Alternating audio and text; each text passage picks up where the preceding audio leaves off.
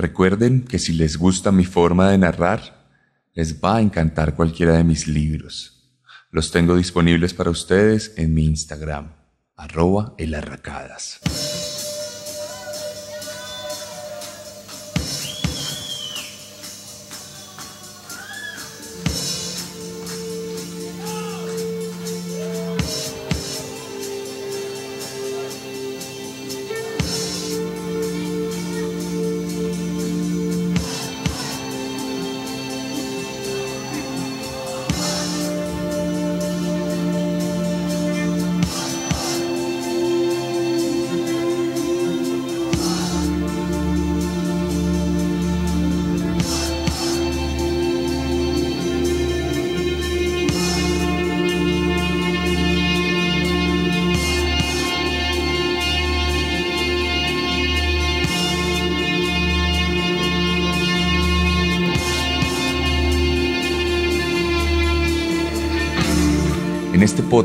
Hemos hablado incontablemente de la policía.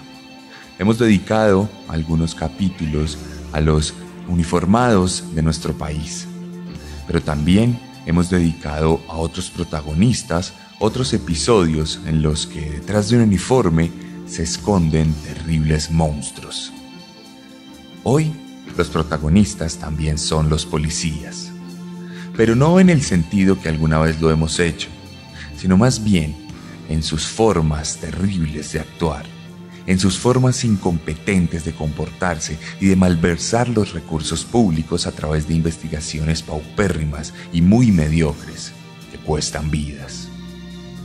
Aunque el protagonista de hoy es uno de los peores monstruos de la historia del Reino Unido, la verdad es que los verdaderos protagonistas son los policías que nunca pudieron haber dado con él razón por la cual permitieron, a través de discursos misóginos y clasistas, que más de una decena de mujeres perdieran la vida, tan solo por el hecho de eso, de ser mujeres. Hoy vamos a hablar de un hombre, pero también vamos a hablar de la incompetencia colectiva, de una fuerza ideada supuestamente para cuidar nuestra seguridad, aunque en la práctica su principal labor sea salvaguardar el status quo, razón por la cual a ninguno de nosotros se nos cuida realmente. Bienvenidos a la quinta entrega de la tercera temporada de Serialmente, un podcast con contenido muy gráfico.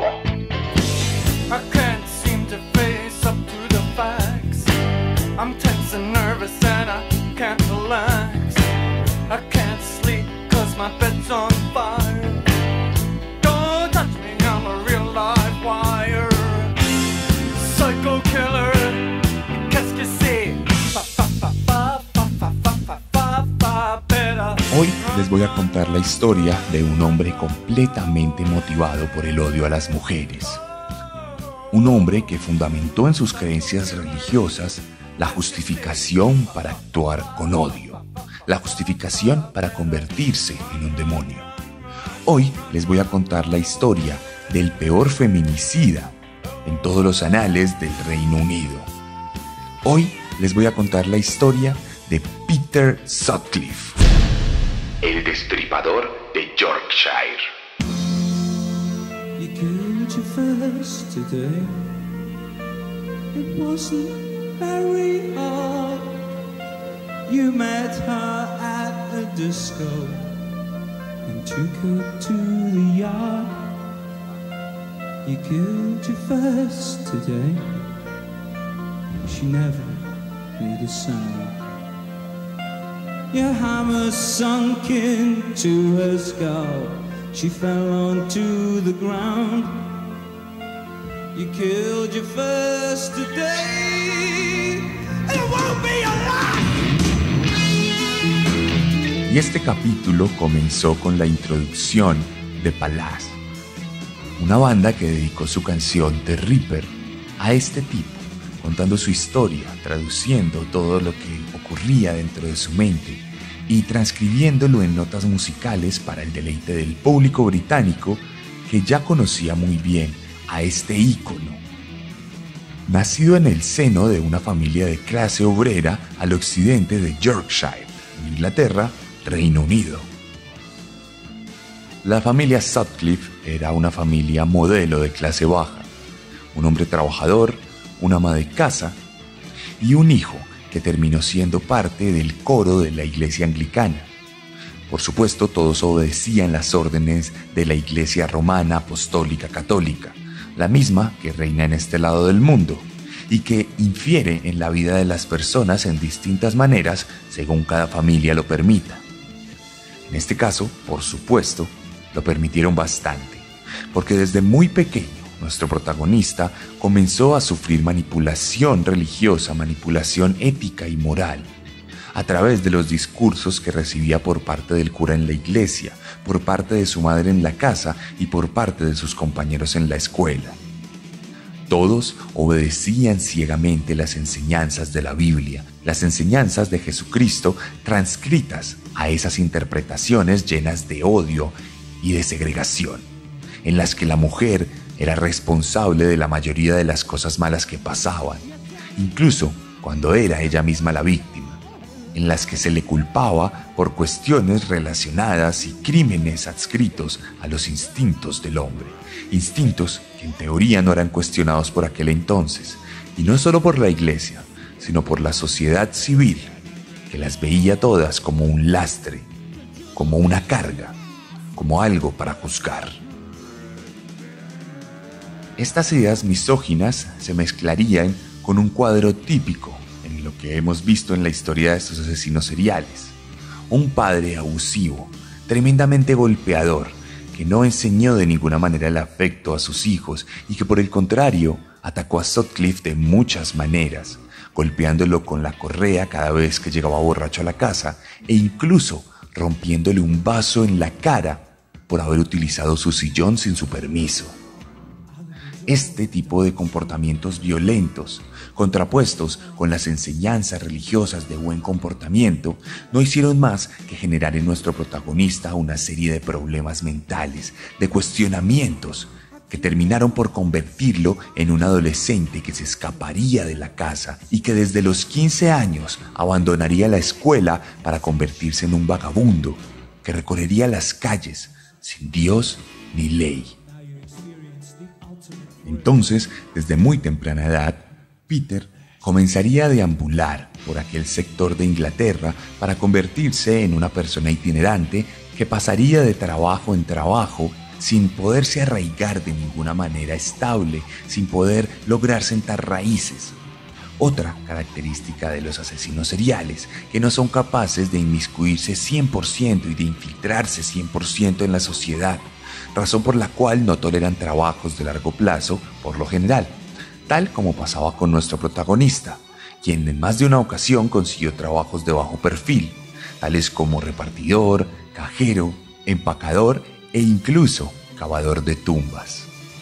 Un momento crucial para su vida, pues estaría por primera vez expuesto a la muerte, rodeado de cadáveres, de lápidas, de historias finiquitadas y de un aura de muerte, de tristeza y de dolor que comenzaría a impregnarse en su corazón cuando tenía aún menos de 20 años. De hecho, como lo veremos más adelante, este momento sería crucial para el resto de su vida.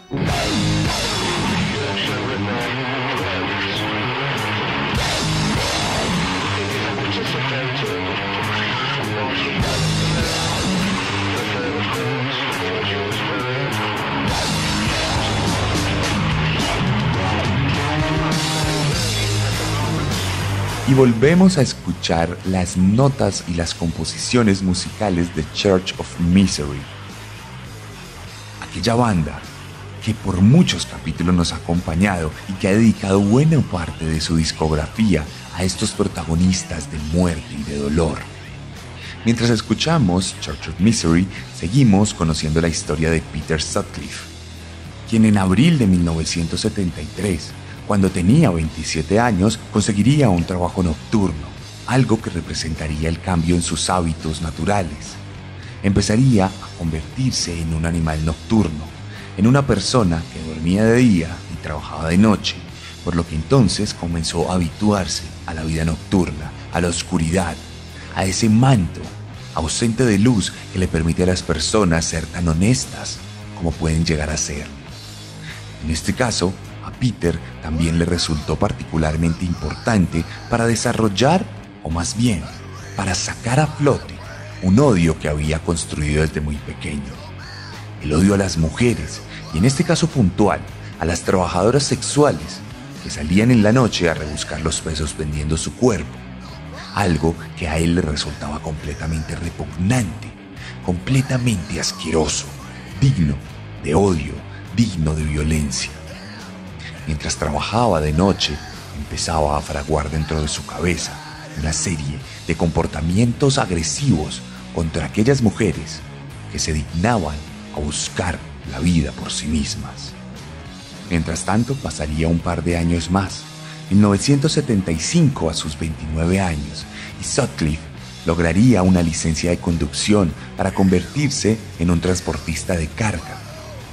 Tendría la oportunidad de ganarse la vida conduciendo a través de las carreteras del Reino Unido, pero sería rápidamente despedido del trabajo, pues empezaría a comportarse como un pequeño delincuente que comercializaría sin permiso alguno llantas usadas, robándoselas de los depósitos del lugar donde trabajaba. Empezamos a ver cómo Sutcliffe empieza a tener deformaciones morales, empieza a convertirse en un bribón, aislado de la sociedad en el sentido que no podía seguir las reglas de esta. Un hombre digno de ser investigado ya desde muy joven, pero invisible, porque así resultamos ser en la mayoría de los casos ante los ojos de las autoridades, siempre y cuando no cuestionemos el status quo. Invisibles. Y asimismo, en el manto de la invisibilidad, en 1976, a sus 30 años, nuestro protagonista conseguiría su trabajo definitivo como camionero alrededor de las carreteras de Londres, de Yorkshire y de otros lugares del Reino Unido, conectándolos con un pequeño camión que le permitía ser una persona invisible, escurridiza y movediza. Mientras tanto, al interior de su cabeza, las peores fantasías comenzaban a gestarse. Habían pasado cuatro años desde que había conocido esa vida nocturna y desde entonces no pensaba en más que en generar un cambio. Un cambio desde la violencia, desde la limpieza y desde el odio. Un cambio que le permitiría sentirse como una especie de héroe, como una especie de lord, salvador de la sociedad del Reino Unido. Sin embargo, en este momento todavía no se había animado a aventurarse, no se había animado a explorar físicamente todas aquellas dinámicas de odio que se estaban gestando en su cabeza. Siguió por lo pronto manejando, fantaseando, imaginando que sería del Reino Unido si se animara a hacer lo que supuestamente, cuando trabajaba como cavador de tumbas, Dios le había dicho a sus propios oídos. Pues entonces, por aquel momento en el que él cavaba tumbas, asegura que empezó a escuchar unas voces que le decían que debía matar trabajadoras sexuales, que debía limpiar la sociedad, que debía limpiar al mundo. Y estas voces siguieron repitiéndose durante estos cuatro años, hasta 1976, cuando consiguió aquel trabajo de camionero. La vida de Sutcliffe estaba a punto de cambiar.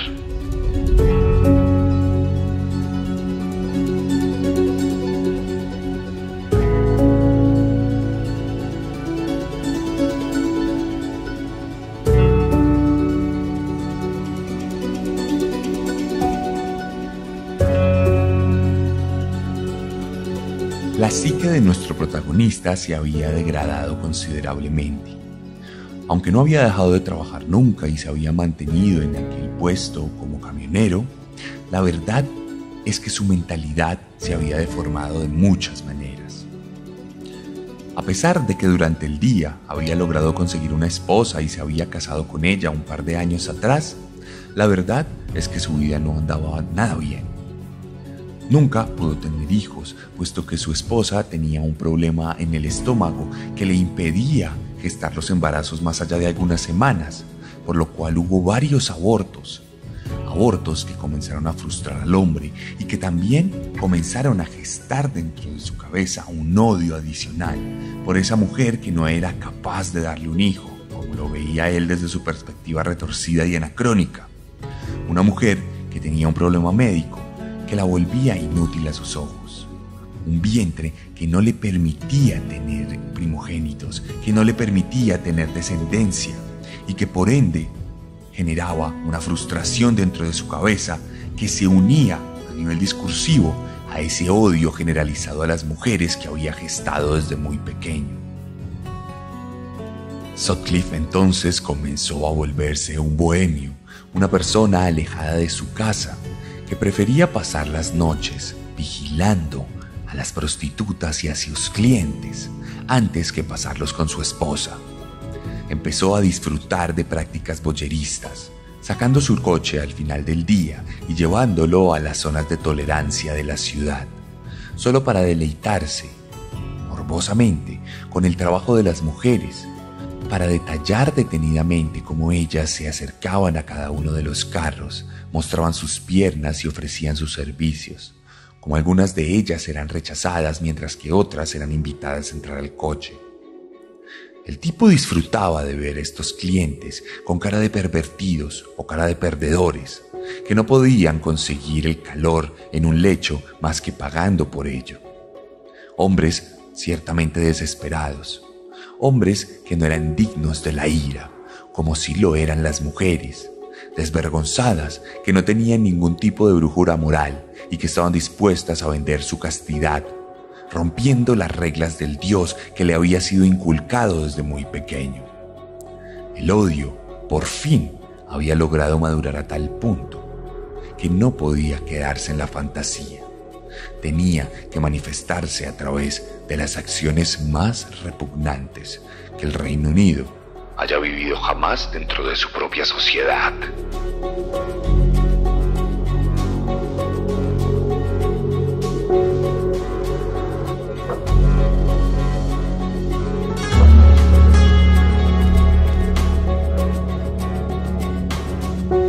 Una noche de julio, Sutcliffe estaba deambulando en su automóvil buscando a alguien con quien regodearse en sus prácticas boyeristas. Entonces las voces le volvieron a hablar. Le volvieron a determinar qué era lo que tenía que hacer. Y lo que era apenas un impulso que se había manifestado en un pequeño ataque, en un asalto que había ocurrido un par de años antes, aquella noche de julio se había convertido en una determinación absoluta. El hombre comenzó a seguir a una trabajadora sexual que se encontraba caminando completamente solitaria, probablemente transportándose de un servicio prestado al lugar habitual de su trabajo. Una trabajadora que no le había hecho daño a nadie. Una mujer de padres extranjeros que habían emigrado para lograr un mejor futuro para su hija en aquel país una mujer que pronto fue atacada por una bestia armada con un cuchillo y con un martillo de bola, el cual le golpeó repentinamente la cabeza tumbándola al suelo. Allí recibió otros martillazos en la cabeza y un par de puñaladas, de rasgaduras en su abdomen. La mujer trató de defenderse y cuando empezó a gritar, uno de los vecinos salió para ver qué era lo que estaba ocurriendo y Sutcliffe no tuvo otra opción que alejarse del lugar había consumado su primer ataque violento significativo. Un ataque que de alguna u otra manera le había despertado aún más esa necesidad de matar, pues había visto la sangre en el abdomen, había visto la cabeza tumefacta de su víctima. Algo que le resultaba particularmente placentero, algo que le resultaba llenador a nivel moral, pues estaba cumpliendo el mandato o por lo menos estaba intentando cumplirlo. No se quedaría con las ganas, pues apenas un par de meses después perpetraría su segundo ataque, uno en el cual casi se llegaría a consumir el asesinato, de no ser nuevamente por la intervención de los vecinos, quienes con sus luces evitaron que la víctima fuera finalmente asesinada por su victimario. Olive Smelt, otra trabajadora sexual, que por haber sobrevivido pudo acudir a la policía, para contar cómo este hombre se le había acercado para preguntarle estúpidamente sobre el clima, solo para atacarla con un martillazo en la nuca, luego para romper su ropa y rasgar con el cuchillo la espalda baja. El hombre seguía hablándole mientras la atacaba, y ella pudo identificar que éste tenía un acento muy marcado de una persona de Yorkshire. Sin embargo, había un problema, y es que Olive era una trabajadora sexual. Entonces, cuando fue a la policía a denunciar esto y a contarlo, ninguno de los agentes le prestó atención y simplemente la revictimizaron diciéndole que eso le pasaba por salir a la calle sola a altas horas de la noche y vestida de forma insinuante. Ella naturalmente no podía defenderse en su condición de trabajadora sexual, pues era algo tremendamente mal visto y atacado por las autoridades. Entonces simplemente tuvo que guardar silencio y aguantar una nueva humillación, que se sumaba a las otras tantas humillaciones que había sentido colectivamente el grupo de mujeres trabajadoras sexuales, que siempre se quejaban de la persecución policial que no hacía nada por salvaguardar la seguridad de las calles en las noches y que más bien dedicaba todos sus esfuerzos a perseguir a esta comunidad. Sutcliffe, por su lado, seguiría alimentando esa necesidad de sangre, pero no cometería el mismo error de las ocasiones anteriores. Entendía que con rasgar el cuerpo de las mujeres no las iba a ejecutar rápidamente y que por el tiempo que tenía, tan corto debido a la presencia de vecinos o de transeúntes, no podía regodearse en el martillo como su arma principal de asesinato. Entonces, siendo el 30 de octubre, cometería su primer homicidio atacando a Vilma McCann, una experimentada trabajadora sexual de más de 40 años que tenía dos hijos, una madre soltera que veía por un retoño de dos años y una jovencita de siete años. Dos niños que esa noche quedarían marcados para siempre, pues perderían a su mamá de la forma más violenta. Sutcliffe se abalanzaría sobre ella con el martillo, la golpearía en repetidas ocasiones para poderla reducir y tirarla al suelo. Y sin pensarlo ni por un segundo, agarraría su cuchillo y lo clavaría en repetidas ocasiones en la garganta de la mujer, que apenas pudo gritar en medio de su desangrado. Luego, pasados pocos segundos, con el mismo cuchillo, la apuñalaría debajo de los senos en cuatro ocasiones, y entonces le abriría la ropa, la desnudaría casi por completo, y comenzaría a regodearse en su vientre, aplicando nueve puñaladas debajo del ombligo, en el mismo lugar donde estaba el útero, ese mismo útero que tenía también su esposa, incapaz de darle un hijo. El odio al útero de su esposa se transcribió entonces al odio al útero de esta víctima, de esta trabajadora sexual que por demás decantaba también y representaba el odio a las mujeres en general, brindado por esa iglesia y esa sociedad tradicional que le había enseñado a culparlas a ellas de todo lo malo que le pasaba a él. Se había consumido entonces el primer asesinato, pero no estábamos ni de cerca de conocer el resto de crímenes atroces que el destripador de Yorkshire llevaría a cabo.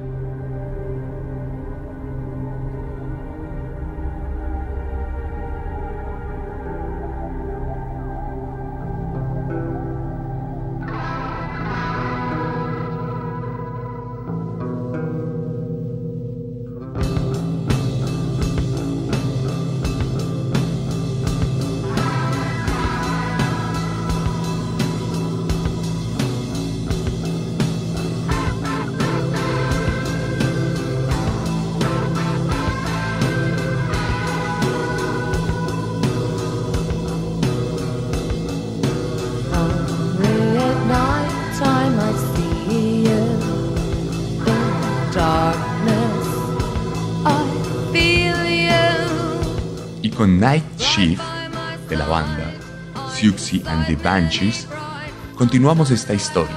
Esta es una canción que justamente se refiere a esas rondas nocturnas, pues nuestro protagonista realmente solo atacaba de noche. no era capaz de atacar de día porque sabía que podía ser visto y además porque sabía que sus víctimas promedio, trabajadoras sexuales, eran personas nocturnas como él, por lo cual eran las presas perfectas, despojadas de cualquier tipo de protección, despojadas de cualquier tipo de manto de legalidad. Sutcliffe atacaría a otra mujer propinándole 52 puñaladas con un destornillador luego de golpearla con el martillo. Había logrado generar un modus operandi en el que se acercaba a las mujeres, les ofrecía algún tipo de dinero a cambio de trabajo y luego las llevaba a lugares apartados para golpearlas en la cabeza y apuñalarlas. Algunas de ellas, sin embargo, lograban sobrevivir y a pesar de que denunciaban, reiterativamente no eran escuchadas por la policía que desestimaba cualquier tipo de denuncia de prostitutas por considerarlas culpables de sus propias desgracias. Sutcliffe, por su lado, comenzaba a experimentar en las formas de asesinar. Al principio simplemente propinó puñaladas específicas en partes del cuerpo. Luego se dejó llevar por el frenesí del odio y propició numerosas puñaladas sin control. Y más adelante, comenzó a mutilar los cuerpos de sus víctimas, abriéndole el abdomen y sacándole las entrañas para regarlas alrededor de su propio cuerpo, dejándolas semidesnudas y cubriéndole apenas su zona genital, como en una especie de salvación del pudor, ese mismo pudor que sentía por dentro. Entonces empezaron a acumularse los cuerpos, empezaron a acumularse los cadáveres y la prensa comenzó a hacer eco de lo que estaba ocurriendo. Y cuando vieron que Sutcliffe tenía una predilección por abrir el abdomen de las mujeres y jugar alrededor de sus ombligos llenos de sangre, comenzaron a ponerle el apodo más famoso de la época, por lo menos en cuanto a asesinos seriales se refiere, el destripador, justamente por Jack el destripador, aquel asesino que más fue encontrado y que hoy en día nos ha llenado de mitos y leyendas en la cultura occidental. Sutcliffe ahora tenía un apodo, tenía un modus operandi, pero por increíble que parezca, no tenía una investigación policial particularmente fuerte a sus espaldas. Los policías apenas comenzaron a cotejar que había muchas mujeres muertas que eran por demás prostitutas de antemano tuvieron un prejuicio entendiendo que todas eran culpables de su propia desgracia. Por ende, no generaron muchas investigaciones y cada cosa que llegaba nueva simplemente la archivaban en una oficina en donde todavía no había computadores, por lo cual simplemente generaba una acumulación de papel. De hecho, en su próximo asesinato, el cuarto, Sutcliffe se aventuró a pisar a su víctima, dejando huellas de su propio cuerpo en la escena del crimen, lo cual constituía una prueba importantísima para las autoridades, que de nuevo desestimaron el error del asesino, por considerar que las víctimas no eran dignas de una investigación copiosa, de una investigación eficiente. La policía inglesa estaba más preocupada por los movimientos de hippies por aquel entonces, por las nuevas culturas y por todo aquel pensamiento que fuera en contra de los designios de la corona y del parlamento de por aquel entonces.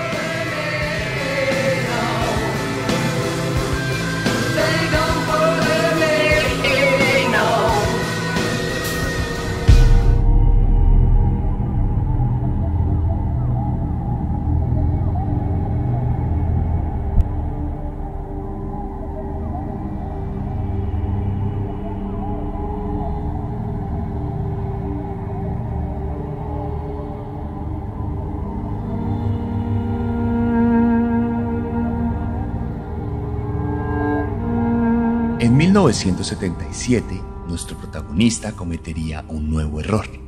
Se acercaría a una de las trabajadoras sexuales y le daría un billete de 5 libras a cambio de sus servicios, más que suficiente para que ella se montara con él y se fueran a un lugar alejado donde rápidamente repetiría este modus operandi, golpearía en la cabeza con el martillo, la apuñalaría en repetidas ocasiones y al terminar su faena le abriría el abdomen y sacaría sus entrañas para regodearse en ellas, para regodearse en el odio, para atender esas voces de Dios que le obligaban a matar trabajadoras sexuales y para atender ese propio instinto que él luego explicaría como una pulsión incontrolable, como una necesidad fisiológica de asesinar, que solo se calmaba cuando se bañaba en la sangre de sus víctimas, cuando se regodeaba con sus cadáveres y cuando disfrutaba de la quietud de aquellas mujeres que apenas salían a la calle a ganar lo de vivir.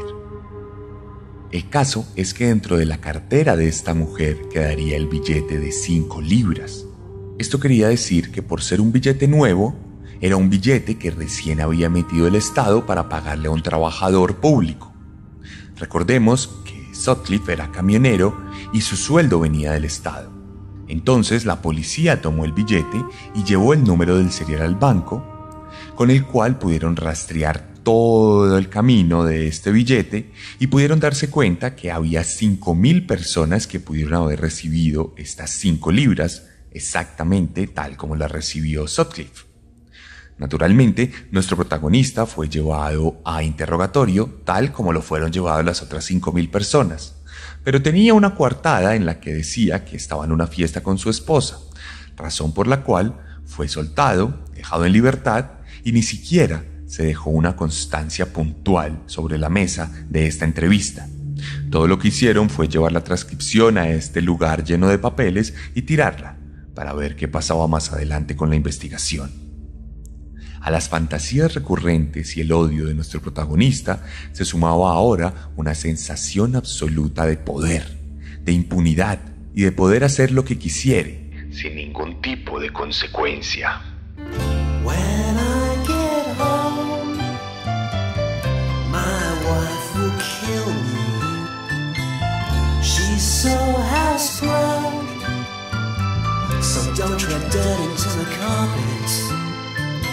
Stop for a pint in Chapel Town.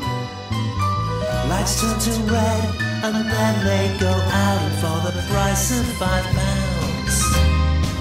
It's what the seventies were about. Baby, Leeds United, Leeds United. From Wakefield to the Ridings to the crowded Ellen Roads. Y con Leeds United, una canción muy popular Luke Haynes, continuamos nuestro relato llegando ya a 1979. Había pasado todo un año y nuestro protagonista había atacado a un par de mujeres más. La policía había desestimado la prueba del billete de 5 libras y la había guardado en ese mismo cuarto del que les estoy hablando desde el inicio del capítulo. Pero entonces, nuestro protagonista sintiéndose completamente intocable, ya no solo se limitaría a las trabajadoras sexuales, sino que atacaría también a cualquier mujer que caminara por la calle. Su odio había madurado, se había generalizado y se había expandido. Entonces, el 4 de abril de ese año, Josephine Whittaker, una simple trabajadora de 19 años, sería atacada y brutalmente asesinada lo cual cambiaría toda la perspectiva de la policía, pero además la descubriría en su misoginia, pues resulta que en ese momento sí hubo una declaración oficial, una declaración en la que la policía lamentaba profundamente el asesinato, lo acotaba al destripador de Yorkshire y afirmaría que se trataba de un caso muy lamentable, pues a diferencia de las otras mujeres anteriores, esta jovencita no se había buscado su suerte, pues no era una trabajadora sexual, afirmando incluso explícitamente que esto sí entristecía a la policía, no como los anteriores casos. Naturalmente, la prensa comenzó a generar un montón de problemas para la policía en ese momento. Las críticas nos hicieron esperar y además se empezó a hablar de la ineficiencia de la policía que no tenía ni siquiera una prueba más que la identificación del modus operandi del asesino.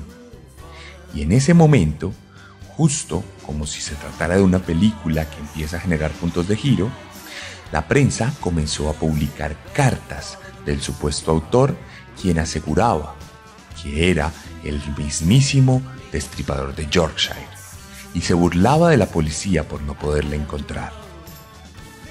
Los uniformados, por supuesto, no tenían ni idea de perfilación criminal y no se dieron cuenta de que esto no era más que el resultado de un charlatán, tal como se descubriría unos años después cuando se dieran cuenta de que el verdadero autor de los hechos jamás escribió una carta, jamás escribió ninguna justificación, y que esas misivas eran por parte de un hombre que terminó pagando ocho años de cárcel por ser el responsable de brindar información falsa a un caso abierto.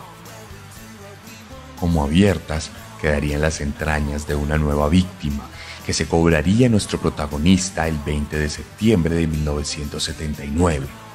Una estudiante universitaria que por supuesto también suscitó el pesar de la policía, que en todos estos meses no había logrado avanzar ni un milímetro en la investigación. De hecho, por ese asesinato, Sutcliffe fue nuevamente llamado a estrado, fue nuevamente llamado a interrogatorio y se le preguntaron las mismas cosas de siempre. Si alguien se hubiera molestado en leer los registros, se hubiera dado cuenta que aquel sospechoso, el cual fue liberado inmediatamente después del interrogatorio, en realidad ya había sido interrogado por otros dos asesinatos que él mismo había cometido y que además estaba en la lista de las posibles personas que hubieran recibido ese billete de 5 libras. Si alguien se hubiera molestado en seguir dentro de la policía los protocolos de investigación, se hubiera dado cuenta que ya no tenían una lista de sospechosos de 5.000 personas, sino que apenas eran 300, una de las cuales Sutcliffe.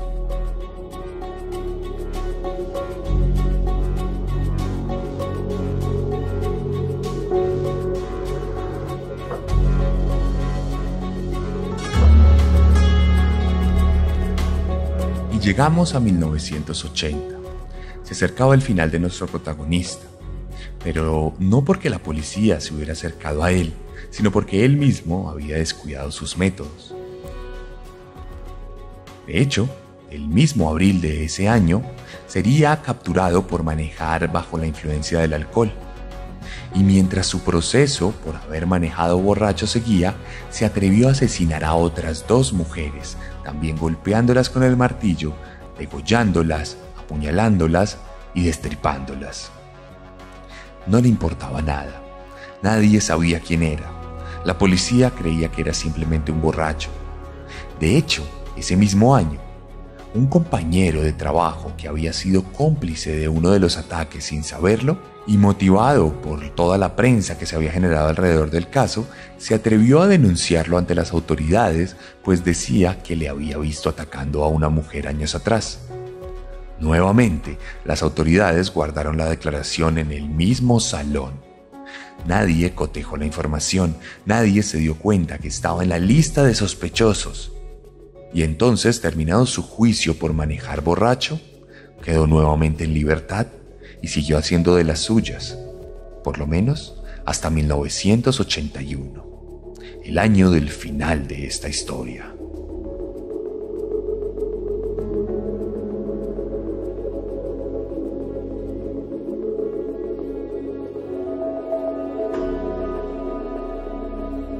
El 2 de junio de 1981, Peter Sutcliffe estaba buscando una nueva víctima. Se encontraba cazando por la noche, avanzando con su automóvil, sin decirle a su esposa dónde estaba, recogiendo a una mujer de 24 años. Una mujer que a su vez estaba siendo perseguida por la policía, pero no porque hubiera cometido algún crimen, sino simplemente porque era una prostituta. Había en ese momento dos agentes de policía encubiertos andando en un carro. No estaban buscando al destripador de Yorkshire, estaban buscando trabajadoras sexuales para poderlas encerrar y castigarlas por ser impías e impuras. Y resulta que se dieron cuenta que esta mujer de 24 años se montó al coche de un desconocido. Lo siguieron y lo detuvieron de inmediato. Se dieron cuenta que ahí estaba Peter Sutcliffe, pero no sabían que era él. No lo tenían identificado, no lo estaban buscando e incluso les dio un nombre falso. Le preguntaron qué hacía con esa mujer. Él afirmó que era una novia que tenía, pero no supo dar su nombre. Y entonces tuvo que confesar que se trataba de una trabajadora sexual. En ese momento le pidieron que se bajara del automóvil. Él pidió permiso para orinar un poco antes de que lo arrestaran y luego lo llevaron a la comisaría. Allí comenzaron a interrogarlo. Le preguntaron por qué tenía un carro con placas falsas y él muy tranquilo simplemente se limitó a responder que eran errores que había cometido. Ellos simplemente estaban trabajando para ver qué estaba pasando con aquel hombre que contrató prostitución. Pero uno de los agentes, tal vez el único con un poquito de sentido común en toda esta historia, se animó a pensar más allá. Tuvo una corazonada y pensó en aquel momento en el que el hombre se bajó del automóvil y se fue a orinar. En ese momento, nadie supo nada de él, nadie supo qué fue a hacer.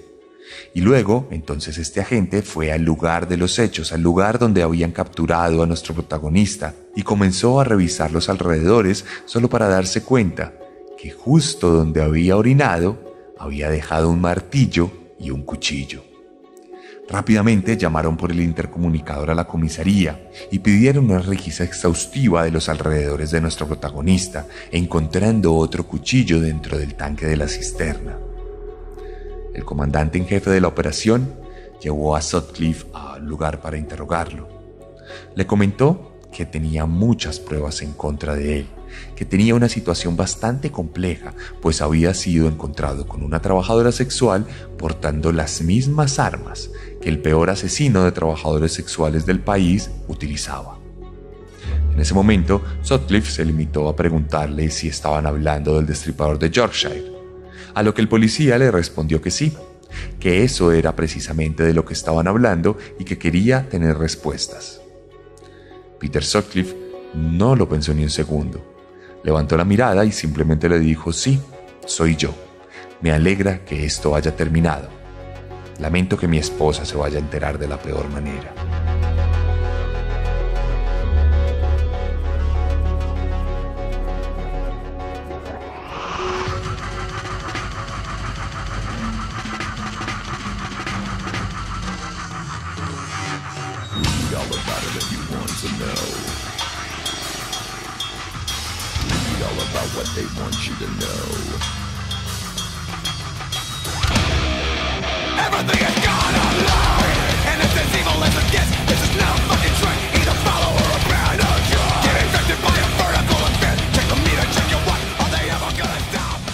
La popularísima banda de metal Slipknot y su canción de Chapelton Track, continuamos esta historia. Esta historia que en enero de 1981 llegó a su fin, pues solo bastarían dos semanas de juicio para determinar la culpabilidad de nuestro protagonista, quien en un principio intentó librarse de la culpa diciendo que tenía esquizofrenia paranoide. Una afirmación completamente desestimada por el Estado, quien aseguró que este hombre, si bien podía tener algún tipo de enfermedad mental por haber escuchado las voces que le dijeron que matara, en realidad no era más que un asesino serial que sabía perfectamente que lo que hacía estaba mal. Los abogados no tuvieron mucho lugar a defensa y Sutcliffe fue condenado a varios años de prisión. Años que en un principio pasarían en una prisión normal y que luego serían llevados a una prisión hospital psiquiátrico al determinarse que definitivamente sí tenía algún tipo de enfermedad. Sin embargo, no quiero que piensen que en este caso hay algún tipo de injusticia por terminar en el hospital, pues la verdad es que nuestro protagonista la pasó muy mal. Durante poco más de 20 años llegó a sufrir más de 5 ataques. Ataques que le hicieron incluso perder un ojo, que le dejaron varias cicatrices en la cara y que tal vez generaron un estrés que determinó en varias enfermedades crónicas como la diabetes. Sutcliffe no la pasó nada bien en prisión. Vivió allí durante varios años. Y aunque su leyenda se constituyó para convertirlo en uno de los asesinos seriales más importantes de la historia del Reino Unido, la verdad es que no tuvo mucho tiempo para vivir, pues estaba completamente aislado y no tenía acceso a ningún tipo de información salvo ocasiones especiales. La pasó muy mal nuestro protagonista. Algo pequeño, considerando todo el mal que ocasionó. La policía, por su lado, también la pasó muy mal, pues apenas se descubrió todo el tema del caso, empezaron a investigar y a darse cuenta que todas las pruebas las tenían acumuladas en ese cuarto lleno de papeles, que si alguien se hubiera molestado en mirar algo, probablemente no hubieran sido 13 las víctimas finales, sino tal vez 6 o 7 cuando mucho. La policía estaba en el ojo del huracán, recibió completas críticas por parte de la prensa y de la sociedad en general, todos se preguntaron sobre cuál era el rol de la policía si no salvaguardar la seguridad de la gente. Y otros le respondieron que realmente solo le salvaguardaban la seguridad a quienes gobernaban. Empezó a generarse todo un debate alrededor que finalmente no terminó en buen puerto. Mientras tanto, nuestro protagonista siguió viviendo la miseria en la cárcel. Tuvo la oportunidad de visitar las cenizas de su padre, en una de las pocas salidas que le fue permitida por los políticos de la región. Y nada de esto cambió su forma de pensar. Nada de esto le invitó a arrepentirse de alguna u otra forma de lo que había cometido. Aseguró que no tenía ni siquiera la culpa de hacer lo que había hecho, pues era un mandato divino. Y entonces, también por mandato divino, en el 2020, en plena pandemia sobre el COVID-19, el destripador de Yorkshire se contagió. Y como era diabético y tenía sobrepeso, rápidamente fue consumido por el virus hasta que perdió la vida en una solitaria cama de un hospital cárcel del Reino Unido.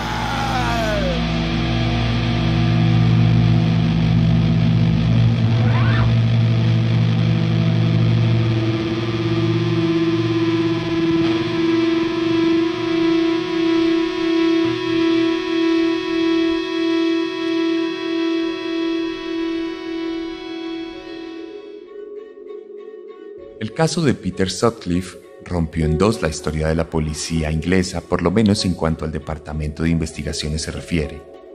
Rápidamente hicieron un mea culpa y actualizaron todos los métodos de investigación.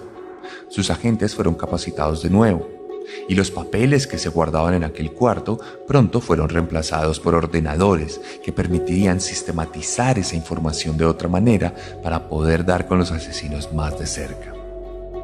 Nuestro protagonista nunca mostró arrepentimiento. Se fue a la tumba plenamente convencido de que las mujeres de la vida nocturna eran mujeres que merecían morir. Una afirmación que buena parte de la sociedad compartía. Un odio que se configuró colectivamente y que se condensó en las manos de uno de los peores asesinos seriales de la historia.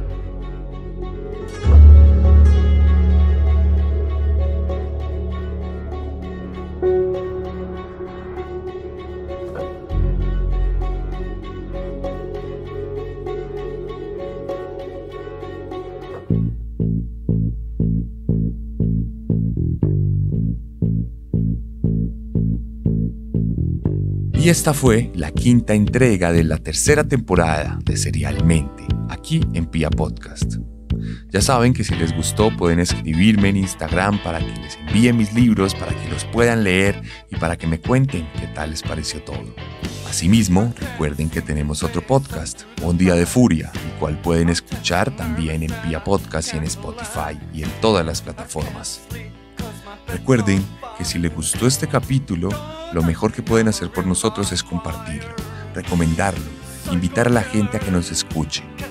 Hay muchas historias por contar, pero hay también muchas historias que hemos contado. Por lo pronto, y no siendo más, les hablo desde el otro lado del mundo provisionalmente. Eso sí, no crean que por eso nos vamos a dejar de escuchar. Nos vemos la próxima semana con un nuevo podcast. Porque recuerden que siempre Podemos ser peores.